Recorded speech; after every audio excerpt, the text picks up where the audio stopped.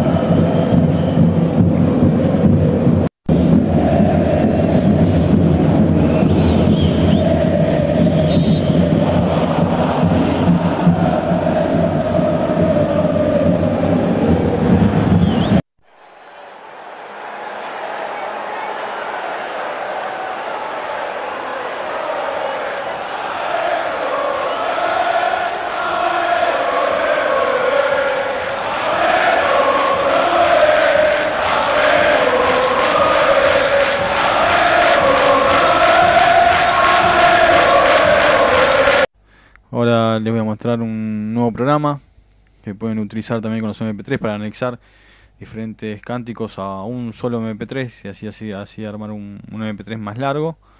Es el Audi Audacity.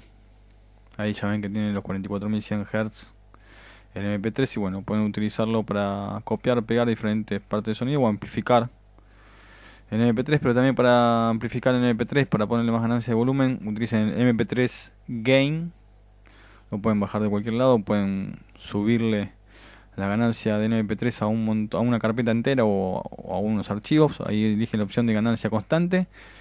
Bueno, y ahí seleccionan el cambio de ganancia para aplicar a, los archivos que hayan seleccionado. Más o menos eh, tienen que levantar, tienen que amplificar entre 4 y 5, 9 o 10, depende del sonido que tenga el MP3. Ahí lo que vamos a hacer es seleccionar un par que son bajitos, que se escuchaban bajitos, que no la de Argentina, y subirlos a un poquito más y ahí pueden escuchar ahora cómo suenan.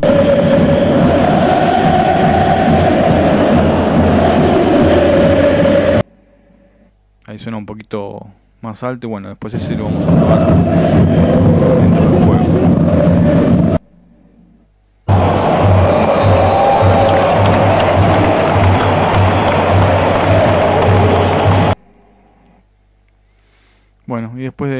Ya haber subido la ganancia del volumen a todos los MP3, lo que queda es copiar y pegarlos a un pendrive, que luego lo vamos a meter en la Play 3.